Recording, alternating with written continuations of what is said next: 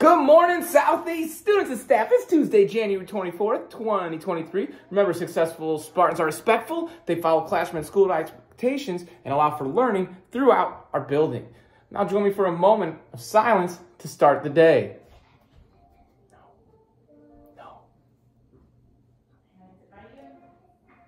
Thank you. It's Quote Tuesday. Today's quote is attributed to Henry Stanley Haskins. He said, What lies behind us and what lies before us are tiny matters compared to what lies within us.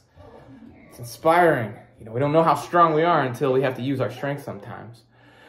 Anyone interested in becoming a Southeast Spartan cheerleader for the 23-24 school year, there'll be an informational meeting Monday, January 30th at 7 p.m. in the school auditorium. Don't miss it.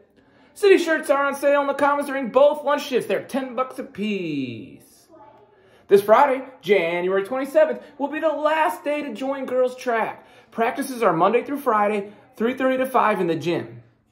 City tournament tickets on sale now in the main office. $5 a piece for everyone. Hey, current 10th graders interested in CACC next year, please let Miss O'Connor know by the end of the week. And if you have some, if you have already submitted your top two choices to her, if you did that, you're good. Don't worry about it. But if not, get done. Don't forget, it's Spirit Week for City. Wednesday's Blue and Gold Day. Look forward to the assembly that day as well. Now, if you would please stand for the Pledge of Allegiance.